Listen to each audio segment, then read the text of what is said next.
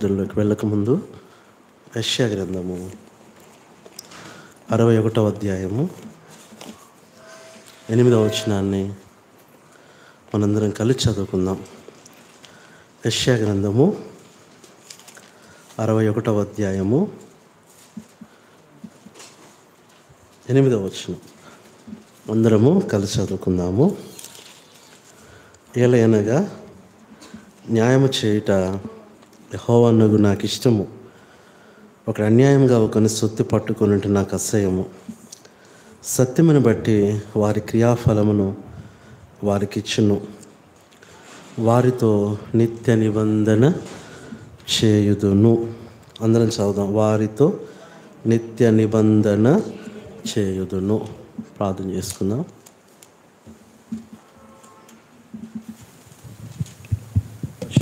తండ్రి ప్రభు నామంలో నీ పాదాలకు వందనాలు చెల్లిస్తున్నా. అనుగ్రహించిన ప్రభా శ్రేష్టమైన ప్రాముఖ్యమైన నియామక కూడిక సంఘ ప్రార్థన కొరకై వందనాలు చెల్లిస్తున్నాం. అవును ప్రభు ఆ పర్వతములు తొలగిపోయిన మెట్టలు తత్తరిలిన నీ కృప మమ్మల్ని విడిచిపోదిగా ఉన్నందుకై నీకు వందనాలు స్థుతులు స్తోత్రములు చెల్లిస్తున్నాం ప్రభు.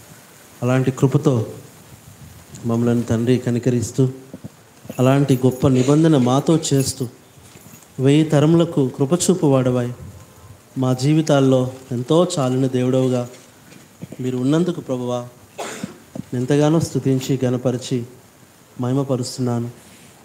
సమయంలో ప్రభువా చదవబడిన వాక్య భాగం ద్వారా మీరే మాట్లాడి మీ స్వరాన్ని మాకు వినిపించమని ప్రార్థనలో వెళ్ళకముందు మాకు సహాయపడి మీరే వాక్యం ద్వారా కావలసిన పురికొల్పు ప్రోత్సాహం మాకు దయచేయమని ఘనతయు మహిమయు ప్రభావములు మీకే ఆరోపించుకుంటూ వందనాలు స్థితులు స్తోత్రములు మీకు చెల్లిస్తూ వాక్యమైన ప్రవీణేశ్వ క్రీస్తు నామంలో కృతజ్ఞతాస్థుతులతో ప్రార్థిస్తున్నాము తండ్రి.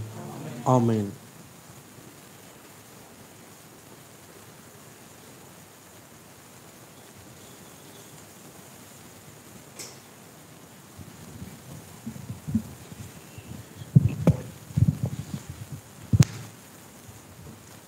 దినము మరి మనకి ఇవ్వబడిన వాక్య భాగము యశ్యా గ్రంథం.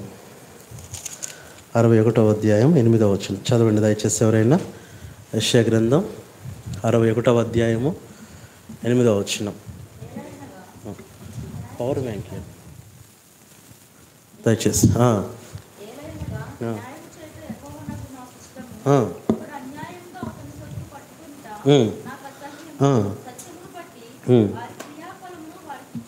ఉమ్. ఆ. చదవండి మళ్ళీ చదవండి చివరి మాట వారితో నిత్య నిబంధన చేయదు దేవుడికున్న గొప్ప పేరు ఏంటంటే ద గాడ్ ఆఫ్ కోవనెంట్. ఆయన నిబంధన చేసే దేవుడు. చూడండి మూడు రకాలైన నిబంధనలు ఉంటాయి మొట్టమొదట మనుషులతో నిబంధన. రెండవది దేవతలతో నిబంధన. మూడవది దేవునితో నిబంధన. చూడండి చాలాసార్లు మనుషులతో నిబంధన చేసుకుంటాం మనం. మనుషులతో నిబంధన చేసుకొని మనము చాలాసార్లు నష్టపోతాం. ఎప్పుడు కూడా మనం మనుషులతో నిబంధన చేసుకోకూడదు. రెండవది దేవతలతో నిబంధన చేసుకోకూడదు. చేసుకోవాల్సింది ఎవరితో? దేవునితో నిబంధన చేసుకోవాలి. నువ్వు దేవునితో నిబంధన చేసుకుంటే దేవుడు నీతో కూడా నిబంధన చేస్తాడు. నిబంధన అంటే అర్థం ఏంటంటే ఒక సమాధానకరమైన సంధి. ఒక సమాధానకరమైన సంధి. ఏ పీస్ఫుల్ ఓ అని చెప్పొచ్చు. కాబట్టి ఇక్కడ అంటున్నాడు ఏమంటున్నాడు? చదవండి ఇప్పుడు. మళ్ళీ చదవండి ఆ మాట. ఆ. న్యాయము చేయుట. చూడండి ఆయన నిబంధనలో ఎప్పుడు కూడా రెండు ఉంటాయి. ఒకటి ప్లీజ్డ్ అండ్ రెండవది డిస్ప్లీజ్డ్ ఒకటి ఆయనకి ఇష్టమైనది రెండవది ఆయనకి ఇష్టం లేనిది లేదా అసహ్యమైనది. అందుకనే ప్రభు ఎప్పుడో చెప్పాడు మీరు జాగ్రత్త పడి మీరు ఆ, మనుషులతో నిబంధన చేసుకోవద్దు. చూడండి ఎక్కడ చెప్పాడు మాట? చదవండి. నిర్గమాకాండం ముప్పై నాలుగవ అధ్యాయము పన్నెండవ వచ్చిన చెప్తానే ఉన్నాడు. జాగ్రత్తగా తల్లిదండ్రులు పిల్లలకు చెప్తారు. జాగ్రత్త పడరా జాగ్రత్త పడరా. చదవండి. నువ్వు ఎక్కడికి వెళ్ళుచున్నావో ఆ దేశపు నివాసులతో? అది నువ్వు నిబంధన చేసుకోవద్దయ్యా. జాగ్రత్త పడు. అది ఏమైపోద్ది? ఊరైపోద్ది. ఇలా చెప్పినా కానీ అందుకనే మా అమ్మ అంటుండేది. అన్నీ తెలిసి ఎందులో పడ్డాడంట? అడవిలో పడ్డాడంట. అన్నీ తెలిసి అడవిలో పడ్డాడంట. అలాగన యహోషు అనే ఒక గొప్ప దైవజనుడు అన్నీ తెలిసి కూడా మనుషులతో నిబంధన చేసుకొని నష్టపోయాడు. చూడండి యహోశివ గ్రంథం తొమ్మిదవ అధ్యాయము పదహారవ వచనం. The book of Joshua ninth chapter six ఈ రోజున నువ్వు ఎవరితో నిబంధన చేసుకుంటున్నావు? నీ దేవుడు నీ ప్రార్థన ఆలకించాలంటే నీ కన్నీరు తుడవాలంటే నీకు జవాబు ఇవ్వాలంటే నీకు విజయం ఇవ్వాలంటే నీకు తోడుగా రావాలంటే చదవండి. ఇంకా పైన ఆ వారితో నిబంధన చేసి ఎన్నో వచ్చిన అది? పదహారు. మూడు దినములైన తర్వాత వారు పొరుగువారని తెలుసుకుని తెలుసుకునిరి. ఎంత భయంకరం అండి ఎవరో మనకు తెలుసు ఆ సందర్భం. ఇస్రాయేలీలు విజయం సాధిస్తున్నప్పుడు ప్రతి దేశం మీదకి వెళ్తున్నప్పుడు దేవుడు చెప్పాడు ఎవరిని మీరు వదిలిపెట్టొద్దు నిర్మూలన చేసేయండి. చెప్తా ఉన్నాడు అన్యులను దేవతలను అన్య జనులను నిర్మూలన చేస్తున్నప్పుడు కొంతమంది తెలివిగా ఏం చేశారంటే అయ్యా మేము ఇక్కడ వాళ్ళము కాదు. ఎక్కడో వేరే దేశం నుంచి వచ్చాం. అసలు నువ్వెవరో కూడా మాకు తెలియదు వేరే పరాయి వాళ్ళు పరదేశంలో అంటే మనం ఏం చేస్తాం? ప్రేమిస్తాం గౌరవిస్తాం మరి ఎట్లా నమ్మాలి అంటే చెప్పారు అయ్యా ఇదిగో మా చెప్పులు ఎంత పాత అయిపోయినాయో చూడు మా వస్త్రాలు ఎంత పాత అయిపోయినాయో చూడు. మేము నా ఒట్టు వచ్చేటప్పుడు వేడి వేడి రొట్టెలు తెచ్చుకున్నాం ఇప్పుడు ఏమైపోయినాయి? ఎండిపోయినాయి. దేవుణ్ణి అడగకుండా యెహోషువ ఏం చేశాడు? నిబంధన Joshua made a covenant with the people who are near by them. Another than gentiles. ఇప్పుడు వాళ్ళు ఏమయ్యారంట పక్కలో శూలాలు అయిపోయారంట ఊరైపోయారంట. అట్లాగే ఒక ఆయన ఉన్నాడు. అంటే వీళ్ళందరూ దేవుణ్ణి తెలిసిన వాళ్ళు. ఆశ అనే రాజు ఉన్నాడు. అనారోగ్యం వచ్చింది. ఎవరితో నిబంధన చేసుకోవాలి? హిచ్కి అట్లా చేసుకున్నాడు నిబంధన. చక్కగా నిబంధన చేసుకున్నాడు దేవునితో. కానీ ఆశ ఏం చేశాడంటే వైద్యులతో నిబంధన చేసుకున్నాడు. మెడికల్ మెడిసిన్ మీకు బాగా తెలుసు కదా. డాక్టర్స్ కూడా ఏమంటారు? చెప్పండి. ఎంత వాళ్ళు ప్రయత్నం చేసి ఎవరికి ఏమంటారు? అయా దేవుడే అంటారు. కానీ చివరికి ఏం చేశాడు ఆశ? చదవండి. రెండవ దినవృత్తాంతముల గ్రంథం. పదహారు పన్నెండు చదవండి. పదహారు పన్నెండు. ఆశ తన ఏలుబడి అందు అది ముప్పై తొమ్మిదవ సంవత్సరమున పాదములలో ఏమొచ్చేసింది? జబ్బు పుట్టి తాను బహు బాధపడినను. దాని విషయంలో యా అది యహోవ యొద్ద విచారణ చేయలా నిబంధన చేయక ఎవరిని పట్టుకున్నాడంట? ఈరోజు గుర్తుపెట్టుకో దేవుని మందిరానికి రాకుండా నువ్వు ఎన్ని హాస్పిటల్ అన్నా తిరుగు. నీకు బాగవదు గుర్తుపెట్టుకో. దేవుని మాట వినకుండా నువ్వు ఎన్ని మందులన్నా వాడు. జాగ్రత్త. వైద్యులను పట్టుకున్నాడు. ఏమైపోయాడు? చెప్పండి చదవండి. అదే ద డెస్టినీ వాజ్ డెత్ అంత భయంకరం. మనుషులతో నిబంధన చేసుకున్న వాళ్ళు వీళ్ళు. ఇంకొక ఆయన ఉన్నాడు. దేవతలతో నిబంధన చేసుకున్నాడు. అన్నీ తెలిసి మళ్ళీ ఆయన ఎవరైనా? The greatest wise man in the world. Ever before? రాజుల గ్రంథం. రెండవ మొదటి రాజుల గ్రంథం మొదటి అధ్యాయం అదే పదకొండవ అధ్యాయం నాలుగవ వచనం. Second Kings eleventh chapter verse four చదవండి. అతని భార్యలు అతని హృదయమును ఇతర దేవతల తట్టు తిప్పగా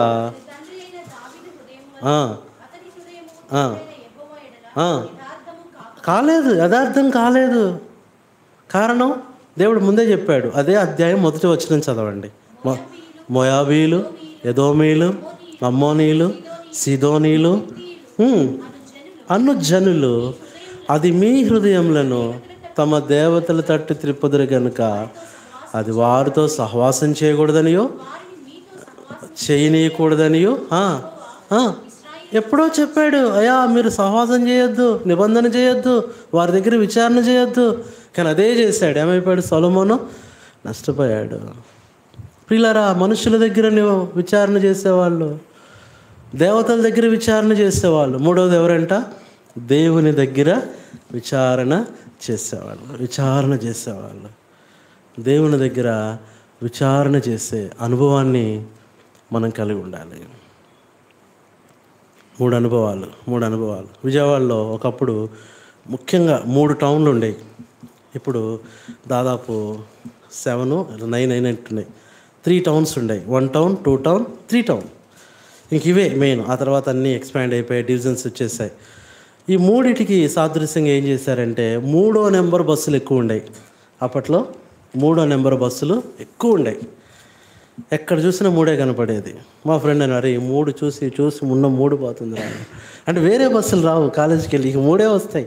Three A three B three C three D three H three P ఇట్లా అన్నీ కూడా ఏముండేవి త్రీ ఉండేవి ఈ మూడో నెంబర్ బస్సు ఎక్కినప్పుడు ఉన్న హెప్సీ అక్క హైదరాబాద్ అక్క కూడా చెప్తా ఉంది.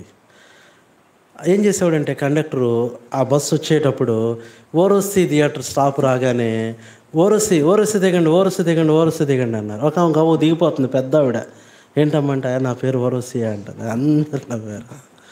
ఓరసి దిగండి ఓరసి దిగండి అనేవాడు. శైలజ దిగండి శైలజ దిగండి. అప్సరా దిగండి అప్సరా దిగండి. ఆ పేర్లకి నిజంగానే స్టాప్ లేకపోయినా దిగిపోయేవాళ్ళు కొంతమంది. అంటే అప్సరా నేను అప్సరాలాగా దిగిపోయేవాళ్ళు అందరూ. అట్లా వన్ టౌన్ వెళ్ళిపోయేది బోడెమ్మ హోటల్ సెంటర్ మీద వెళ్ళేది. అక్కడ రాగానే వాడు బోడెమ్మ దిగండి బోడెమ్మ దిగండి అంటే ఇప్పుడు స్టాప్లో దిగాల్సిన వాళ్ళు ఉన్నా దిగేవాళ్ళు కాదు. ముందుకెళ్ళి దిగి నడుచుకుంటూ వచ్చేవాళ్ళు. కారణం పేరు ఎలా ఉంది? బోడెమ్మ. బోడెమ్మ అంటే వాళ్ళ అక్క. మూడో నెంబర్ అట్లా అరుస్తుంది మాకు చిన్నప్పుడు బాగా తెలుసు. బస్సులు ఎక్కువగా పాస్ కాబట్టి బాగా మేము తిరుగుతూ ఉండేవాళ్ళం. బోడెమ్మ హోటల్ దగ్గరికి వచ్చేసరికి బోడెమ్మలు దిగండి బోడెమ్మలు దిగండి అనేవాడు. పరువు పోయేది ఎవ్వరు దిగేవాళ్ళు కాదు. ఒకవేళ ఎవరిని దిగారా అందరు నవ్వటం వాళ్ళు చూసి.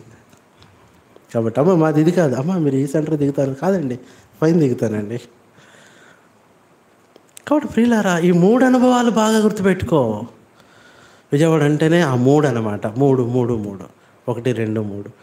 అలాగా మొట్టమొదటి మనుషులతో నిబంధన చేసుకునే వాళ్ళు రెండవది దేవతలతో నిబంధన చేసుకునే వాళ్ళు మూడవది దేవునితో దేవునితో నిబంధన చేసుకున్న వాళ్ళకి గుర్తు ఎవరంటే నోవహ ఎవరితో నిబంధన చేశాడు? దేవునితో. చూడండి మనుషులు లేదంటే దేవుని బిడ్డలు ఒక్క నిబంధన ఎలా ఉండాలి? నువ్వు దేవునితో నిబంధన చేసుకొని నువ్వు ప్రార్థన చేయి ఖచ్చితంగా దేవుడు నీకు నిబంధన చేస్తాడు.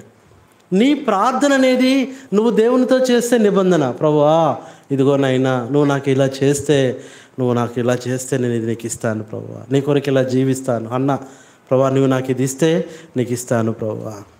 నాకు కుమారుని ఇస్తే నీ కొరకు పెంచుతాను ప్రభు. నువ్వు చేసుకునే నిబంధన నీ ప్రార్థన అయితే దేవుడు చేసే నిబంధన ఆయన జవాబు.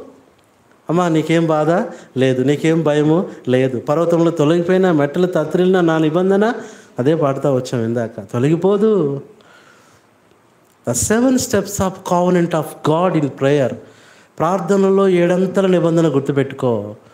అలాంటి నిబంధన నువ్వు చేయగలిగితే మేము కూడా మేము కూడా ప్రార్థన చేసుకునే వాళ్ళు వచ్చిన ప్రభువా మేము కనుక సెవెంత్ పాస్ అయితే సెవెంత్ పాస్ అయితే చెప్పండి. వెయ్యి రూపాయలు అయ్యా కానుకని కానీ ఇప్పటికీ ఇవ్వాలి దేవునికి నేను? ఎందుకంటే అప్పుడు అట్లా అనుకునే వాళ్ళం. మా ఫ్రెండ్స్ ఉండేవాళ్ళు. ప్రభా సెవెంత్ పాస్ అయితే గుణదల కొండకేనయ్యా. ఒక్కళ్ళం పాస్ అవ్వలా. అదేంటో విత్ హెడ్లో ఉంచి ఆ తర్వాత ఎప్పుడో ఎయిత్లోకి పంపించారు. ప్రియులరు కాబట్టి ఎందుకు నేను చెప్తున్నానంటే your covenant is prayer God's covenant is answer.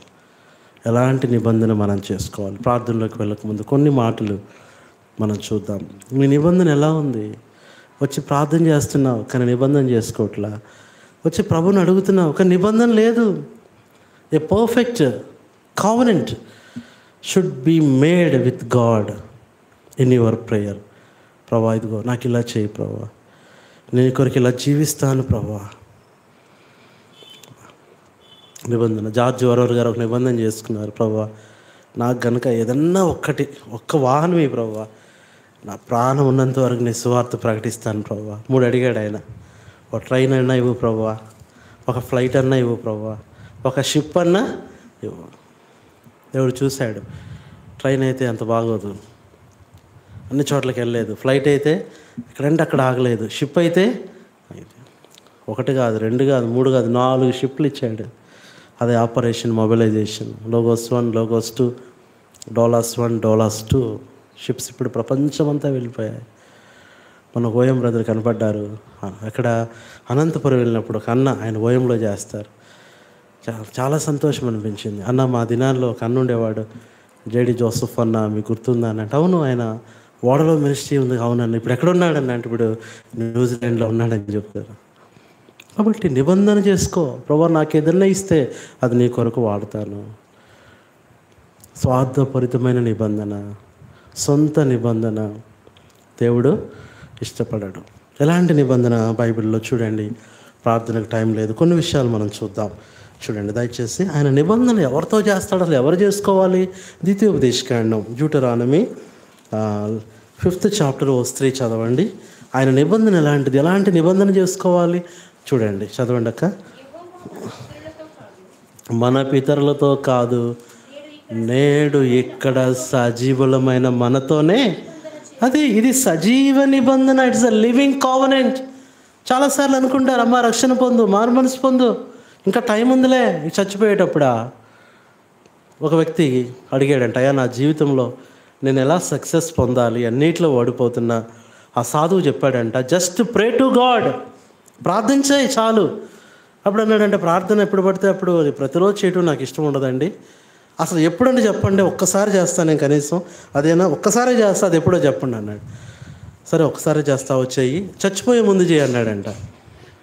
నేను చచ్చిపోతాను ఎప్పుడో నాకు తెలియదు కదంటే తెలియదు కాబట్టి చేస్తానే ఉండి అన్నాడంట. కాబట్టి ఇది సజీవమైన నిబంధన. సో లివింగ్ కావునండి ప్రభా నేను సజీవంగా ఉన్నానంటే నీ కొరకే నా చేతులు నీ కొరకే నా కాళ్ళు నీ కొరకే నా శరీరం నీ కొరకే. మరి అంది నీ దాసురాలను ఇదిగో నేను ఆలకించుచున్నాను. Mary can I use you for the sake of my son's birth for the sake of people's salvation? మన కుమారుడి కోసం ఈ లోక రక్షణ కోసం నేను వాడుకోవచ్చు అంటే ఏముంది? ప్రభువు దాసురాలను. కాబట్టి ఎంత సమర్పించుకుంది దేవుని కొరకు? ఇది సజీవమైన నిబంధన రెండవది చూడండి. ఎలాంటి నిబంధన అంటే చదవండి దయచేసి. రెండవ సమయాల గ్రంథం ఇరవై మూడవ అధ్యాయము ఐదవ వచనం. రెండవ సమయాల గ్రంథం ఇరవై మూడవ అధ్యాయం ఐదవ వచనం. నా సంతతి వారు అనుకూలులే కదా? అది రెండవది ఏ నిబంధన? అబ్బా నిత్య నిబంధన. ఇప్పుడు పక్కనే ఉంది చదవండి అక్క. అది మూడోది సంపూర్ణమైన నిబంధన. Living covenant of God eternal covenant of God the perfect covenant of God నీ నిబంధన ఎలా ఉండాలి? సంపూర్ణంగా ఉండాలి? సంపూర్ణంగా నిబంధన నువ్వు చేసుకో. నిబంధన చేసుకున్నావు లోబడట్లా దేవునికి. ప్రభా ఇదిగో ఇదే లాస్ట్ ప్రభా. ఇక తప్పు చేయను ప్రభా అంటున్నావు మళ్ళీ వెళ్తున్నావు. ప్రభా ఇదే లాస్ట్ ప్రభా ఇక అలాంటి మాటలు మాట్లాడంటున్నావు మాట్లాడుతున్నావు. జాగ్రత్త. ఒకటి నిబంధనను నువ్వు నిర్లక్ష్యం చేశావో నిబంధనను అతిక్రమించావో అది మామూలుగా ఉండదు. దేవుడు నిబంధనను త్రోసివేసే వారిని ఆయన నిర్దోషులుగా ఎంచాడు. నిబంధనను ప్రేమించే వారిని వెయ్యి తరాలకి కృప చూపుతాడు. అది త్రోసివేసే వారిని మాత్రం ఆయన ఇష్టపడాడు. మూడో నిబంధన ఏంటంటే సంపూర్ణ సర్వ సంపూర్ణ all perfect covenant of God.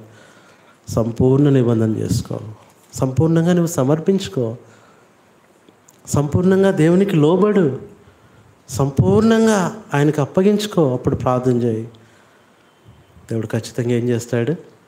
నీ నిబంధన నువ్వు నెరవేర్చి నడిపించితివి ఘనముగను. నీ నిబంధన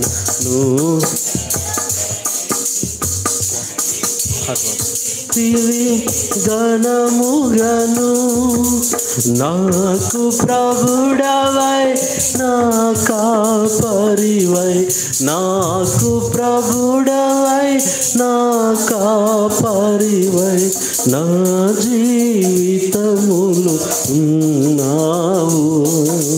నిజముగా నిన్ను హృదయదను సన్ను ఎల్లప్పుడూ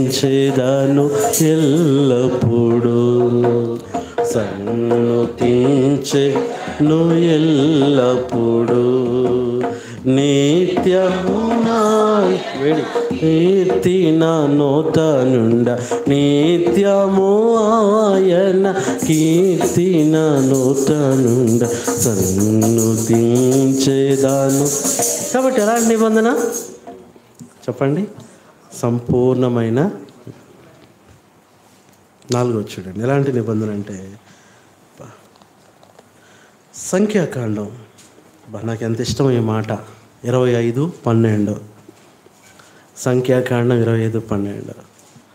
చదవండి. అతనితో ఇట్లనము. అది ఏంటంట? సమాధాన ద పీస్ఫుల్ కావనెంట్. ఏ నిబంధన అంటే అది? సమాధాన నిబంధన.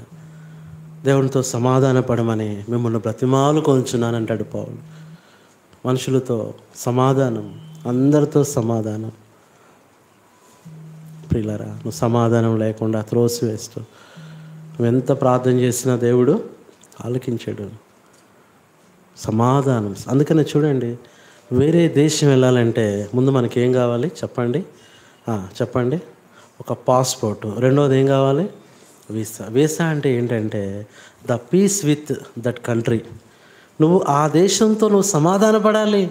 ఆ దేశం అంటే నాకు ఇష్టమే. ఆ దేశ పద్ధతిని నేను గౌరవిస్తాను. ఆ దేశ ప్రజల్ని ఇష్టపడతాను. ఆ దేశ వ్యవస్థను నేను నాశనం చేయను. ఆ దేశ పరిస్థితికి నేను నష్టం కలుగజేయను. ఇవన్నీ కూడా ఉంటాయి అందులో. దానికి అందుకనే ఇంటర్వ్యూ ఉంటుంది.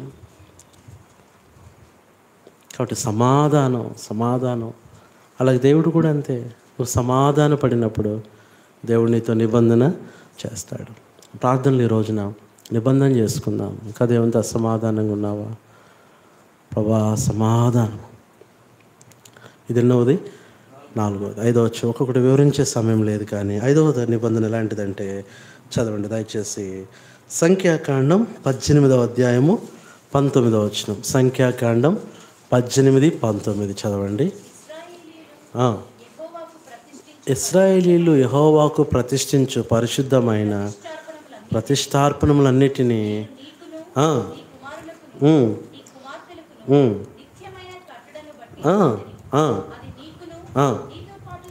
సంతతికిని ఏ నిబంధన అంట? చూడండి ఈరోజు నన్ను ప్రార్థన చేస్తున్నావు కానీ ఏం లేదు? స్థిరత్వం లేదు. స్థిరమైన ప్రార్థన లేదు. స్థిరమైన ఆత్మీయత లేదు. స్థిరంగా మందిరానికి రావట్లా. స్థిరంగా వాక్యం చదవట్లా.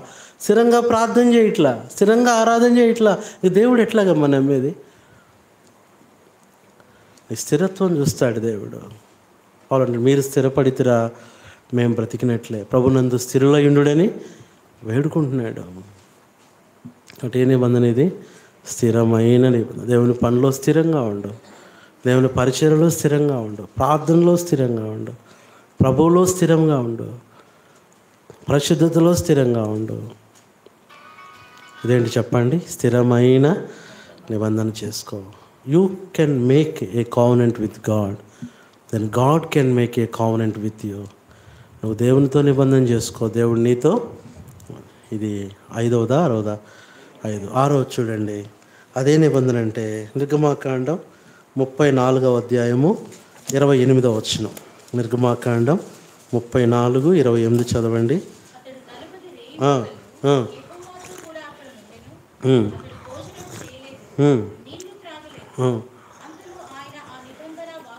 అది ఇది వాక్య నిబంధన. స్క్రిప్చరల్ కావనెంట్ ఆఫ్ గాడ్ నిబంధన వాక్యాలు వాక్య నిబంధన చేసుకో నేను యవనస్తులకు చెప్తా ఉంటా. నువ్వు ఎన్ని చదువులన్నా చదువు. నువ్వు బైబిల్ చదవకపోతే వర్ధిలలేవు వర్ధిలలేవు రుచిగల మాటలు పలుకుట వలన విద్య ఎక్కువ అవుతుంది అంటే రుచిగల మాటలు ఎక్కడున్నాయి? లోకంలో ఉన్నాయి. బైబిల్ ఎక్కువ చదువుకోవాలి. అందుకని బైబిల్ చదివేటప్పుడు ఎవరస్తులు కానీ ఎవరైనా పెద్దగా చదువుకోవాలి. మరి పెద్దగా అంటే మైక్ పెట్టి కాదు. స్పష్టంగా ఇతరులకు వినపడేటట్లు నువ్వు చదవాలి. నువ్వు చదివేది నీ చెవులకు వినపడినప్పుడు అది ఇంకా ఎక్కువగా అర్థమవుద్ది ఎక్కువ రోజులు గుర్తుంటుంది. అందుకని పిల్లల్ని మనసులో చదివేవారు. స్టడీ అవర్స్లో పెద్దగా చదివిస్తారు. కారణం ఏంటంటే not only reading but it's reading by listening ఆ చెవులు వింటాయి. "ఆ, ఇది చదివాడా అని. నోరు చెవులు హృదయం గుర్తుంటుంది. అట్లాగే ప్రార్థన చేసేటప్పుడు కూడా నైట్ అంతా నేను చూస్తూ ఉన్నాను. ఎవరిని మాట్లాడి మాట మాటికి రావటం మళ్ళీ చూడటం పెద్దగా చేయండి పెద్దగా చేయండి పెద్ద అంటే మీ ప్రేయర్ అనేది అందరికి వినపడతా ఉంటే నీ ప్రార్థన బట్టి నెక్స్ట్ ఎవరైతే చేయాలో వారి మనసులో వాళ్ళిద్దరు పోతున్నప్పటికీ రెస్ట్ తీసుకున్నప్పటికీ ఆ మాటలు అనేవి వారు కొంచెం సిద్ధపరుస్తూ ఉంటాయి. కాబట్టి ఏ నిబంధన ఇది వాక్య వాక్యం చదువుకోవాలి. వాక్యం ధ్యానించాలి. వాక్యాన్ని పరిశోధించాలి. వాక్యాన్ని ప్రేమించాలి. దేవుని వాక్యం మనతో మాట్లాడుతుంది. దేవుని వాక్యం మనల్ని బలపరుస్తుంది. ఇది ఆరవది. ఏడవది మనం చూస్తే మనందరికీ తెలుసు. యేసు ప్రభుతో ఆయన రక్తంతో చేశాడు ప్రభు నిబంధన. ఐదైనయా ఆరైనయా? ఆరైన ఏడవది చూస్తే చదవండి. దయచేసి నిబంధన చదవండి. ఒక మాట. నిర్గమాకాండం ముప్పై నాలుగు పది. నిర్గమాకాండం ముప్పై నాలుగు పది ఆ, ఇదిగో నేను ఒక నిబంధన చేయి అది నేనొక ఇదిగో నేనొక నిబంధనను అద్భుతముల చేతు నీ ప్రజలం దారి ఎదుతా.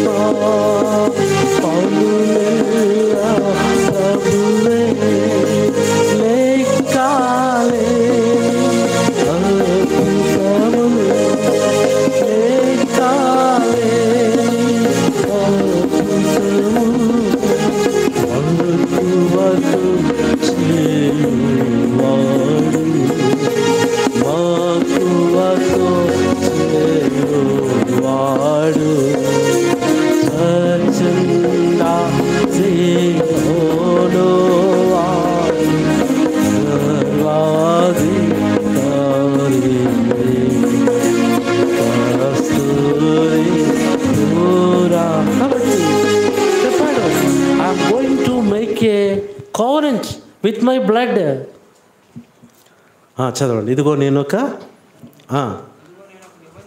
నిబంధన చేయుచున్నాను. భూమి మీద ఎక్కడైనానో? ఏ జన్మలోనైనానో? అది చేయబడిన అద్భుతములు? ఈ పాట అలాగే రా దాని గురించి రాశారు. ఆ, వాక్యం. చేసేదను.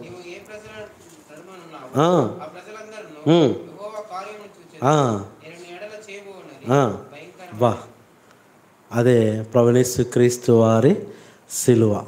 దాన్ని ఏమన్నారంటే క్రొత్త నిబంధన. కొరింతీలకి రాసిన మొదటి పత్రిక చివరిగా పదకొండవ అధ్యాయం ఇరవై ఐదవ వచ్చిన ఫస్ట్ ఎపిసోడ్స్ ఆఫ్ చదువు ఆ ప్రకారమే భోజనమైన పిమ్మట ఆయన ఒక పాత్రను ఎత్తుకొని ఈ పాత్ర నా రక్తం వల్లైనా this is the promise touch fulfilled by Jesus Christ which was promised in Exodus thirty four chapter verse ten అక్కడ చెప్పబడింది ఇక్కడ నెరవేరింది. ఇది యేసుక్రీస్తు యొక్క నిబంధన. కాబట్టి ఈ రోజున ఇది దీన్ని ఏమన్నారంటే క్రొత్త నిబంధన. ప్రతిసారి అంట మనం దేవుని సన్నిధిలో ఒక కొత్త తీర్మానం తీసుకుంటూనే ఉండాలి. కొత్త ఇది చూడండి. ఏదన్నా వస్తువులు షాప్కి ఏదైనా కొత్త శారీస్ వచ్చాయంటే మళ్ళీ అవే రావు. మళ్ళీ మారిపోతూ ఉంటాయి మారిపోతూ ఉంటాయి.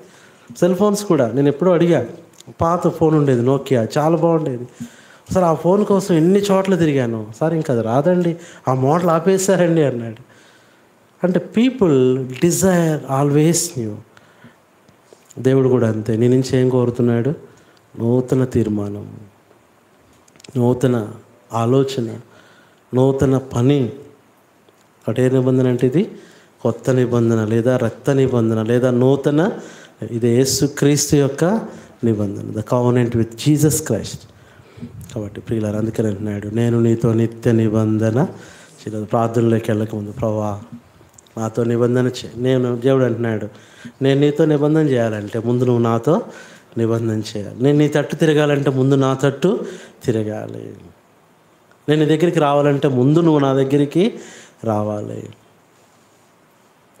కాబట్టి ప్రభా నేను చేస్తాను ప్రభా ఏడు రకాలైన నిబంధనలు. మొట్టమొదటి ఏ నిబంధన అంట? అన్నాను. ఈరోజు వర్తమానం అదే. నేను మీతో నిత్య నిబంధన చేస్తాను. I will make a permanent covenant with you నేను ప్రార్థనలు అడుగుదామా ప్రభా? నిబంధన చేసుకో. నువ్వు అడుగుతున్నావు కానీ దేవుడు ఎందుకు ఆలోచించట్లేదు అంటే your prayer should be with the covenant ఒక నిబంధనతో ప్రార్థన చేయి. నిబంధన అంటే చెప్పండి నియమ నిబంధనలు కాదు. మనం ఏంటి నియమ నిబంధనలు పెడతాం. ప్రభా ఇది జరిగితేనే నేను మందిరానికి వస్తాను ఇది జరిగితేనే నేను ప్రార్థన చేసుకుంటా ఇది జరిగితేనే రక్షణ పొందుతా. నియమ నిబంధనలు కాదు నిత్య నిబంధనలు కావాలి. ఏంటంటే ఇవి? మొట్టమొదట సజీవమైన నిబంధన. సజీవంగా ఉన్నప్పుడు నిబంధన చేసుకో. లివింగ్ కావనెంట్ ప్రభా నేను నా జీవితం అంతా బ్రతుకాలమంతా నీకే. రెండవది నిత్య నిబంధన. నేను ఒక సేవకుడి గురించి బ్రదర్ నేను మాట్లాడుకుంటా వస్తున్నా వ్యాన్లో. ఎంతో గొప్ప సేవ చేశాడు ఆయన. ఆ దినాల్లో ఆ ప్రాంతాల్లో ఆ west east west Godavari Jangareddygudem మా ప్రాంతంలో గొప్ప సేవ. గ్రామాలకు వెళ్ళిపోయాడు. ఎన్ని ఆత్మలు రక్షించాడు. బ్రదర్ అంటున్నాడు అన్న ఇప్పుడు వాళ్ళ పిల్లలు అలా సేవ చేయలేకపోతున్నారు. ఎంత బాధ అండి. కాబట్టి దినాల్లో మనం కూడా ఎలాంటి నిబంధన అంట? నిత్య నిబంధన రెండవది సంపూర్ణ నిబంధన. మూడవది సమాధాన నిబంధన. నాలుగవది స్థిరమైన నిబంధన చేసుకుందాం ప్రభుత్వం. ఐదవది వాక్య నిబంధన. ఆరవది క్రొత్త అన్ని లెక్కలు రావేంటి మీకు? ఫస్ట్ది ఏంటి? సజీవమైన నిబంధన. నాకే రావనుకుంటే నన్ను ఇంకా కనిపించేస్తారు. రెండవది నిత్య నిబంధన. మూడవది అది సర్వ సంపూర్ణ నిబంధన చేసుకుందాం. నాలుగవది సమాధాన నిబంధన. ఐదవది స్థిరమైన నిబంధన. ఆరవది వాక్యంతో కూడిన నిబంధన. అందుకని దేవుని వాక్యం చదువుకోవాలి. దేవుని వాక్యాన్ని ప్రేమించాలి. దేవుని వాక్యాన్ని ఇష్టపడాలి. తర్వాత కొత్త నిబంధన. అందుకని ప్రతి ప్రభుదినం కూడా మనం ప్రభు బల్ల దగ్గర నిబంధన చేసుకుంటాం నిబంధన చేసుకుని ఈరోజు ప్రార్థనలో ప్రభు నీ మహిమార్థమై నువ్వు ఇచ్చింది నేను వాడతాను ప్రభా. ప్రార్థన నువ్వు అడుగుతున్నావు ఒక నిబంధన చేసుకోవట్లేదు. నిబంధనతో అడుగుదాం. అప్పుడు జవాబు దేవుడు నిబంధనగా ఇస్తాడు. నిబంధన అంటే ఒకటే your prayer is a covenant God's answer is a covenant నీ ప్రార్థన నీ నిబంధన అయితే దేవుని జవాబు ఆయన. నిబంధన చేసుకొని దాని వైపు చూసి మరి సంవత్సరం ఏ పరిస్థితుల్లో ఉన్నావు? ఏ దుఃఖంలో ఉన్నావు? ఏ బంధకాల్లో ఉన్నావు? ఏ బాధలో ఉన్నావు? ఏ కలవరంలో ఉన్నావు? ఏ వేదనలో ఉన్నావు? ఎందుకో అది చేసి పంపించాడు జతిన్. ఏదో ఒక వాక్యం. ఎప్పుడుదో పాతది. ఏ వాక్యం అది? అలసట? అలసట? ఎప్పుడు చెప్పిందో గుర్తులేదు. సరేలే అనుకున్నాం. ఈరోజు ఒక సహోదరి ఫోన్ చేసి అన్న వర్తమాన్ అనంతపురం నుంచి అండి ఒక సహోదరి. అలసట చెందుతున్నావా? So I'm in that situation అన్న. నేను చనిపోదాం అనుకున్నాను. నేను ఎంత ఇదో అనుకున్నాను. సడన్గా ఎందుకో యూట్యూబ్ ఓపెన్ చేస్తే ఆ మెసేజ్ వచ్చింది. చాలా నాకు సంత దేవుని వాక్యం ఎలా మాట్లాడేదో తెలియదు అప్పుడు ఆమెతో దేవుడు ఏం మాట్లాడాడు? నేను మళ్ళీ రెండుసార్లు వినాల్సి వచ్చింది ఈరోజు అది. కాబట్టి ఈ రోజున దేవుని వాక్యం నిర్లక్ష్యం చేయొద్దు. ఆ నిబంధనతో ప్రార్థన చేసుకుందాం. దేవుడు నీతో నిబంధన చేసుకుంటాడు. నోహతో నిబంధన.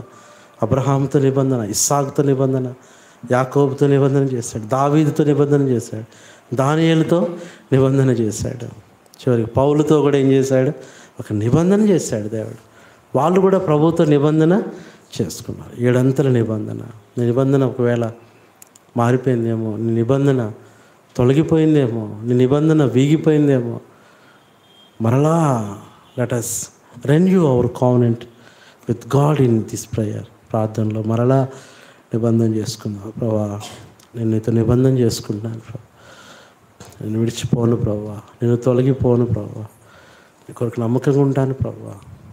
నీకు సహాయం చేయి ప్రభా. నిబంధన చేసుకుందాం ప్రార్థన చేసుకుందాం. ఒకరి తర్వాత ఒకరు సమయం ముఖ్యంగా ఫస్ట్ పర్సనల్లీ నీ పర్సనల్గా ప్రభు యొక్క సన్నిధిలో ఎక్కడ తప్పిపోయి తొలగిపోయావో సంఘంలో వారి కుడికి రాలేకపోయావు ఒక నిబంధన చేసుకో. ప్రభా ఏ కుడికి నేను మాననయ్యా రావాలనే ఆశ నీకే లేకపోతే దేవుడు నీకు ఎలా సమయం ఇవ్వగలడు? వాక్యం చదవాలనే కోరిక నీకే లేకపోతే దేవుడు ఎలా అనుకూలపరచగలడు? ప్రార్థన చేయాలనే భారం నీకే లేకపోతే ప్రభు నీకు ఎలా ఆలకించగలడు? Unless you how can God ప్రార్థన చేసుకుందాం. అలాగే మరి రేపు వారం పరిచర్య కొరకు ప్రభుచితం అయితే పద్నాలుగు పదమూడు పద్నాలుగా? పద్నాలుగు పదిహేను. ఏప్రిల్ పద్నాలుగు పదిహేను. శుక్ర శని. శుక్రవారం ఏదో సెలవు వచ్చింది పబ్లిక్ హాలిడే. ఎలాగో శనివారం ఫాస్టింగ్ ప్రేయర్ కాబట్టి మనకు ఆ రెండు దినాలు ఫాస్టింగ్ ప్రేయర్స్ పెట్టుకుందాం. నెల మధ్యలో మంచిది.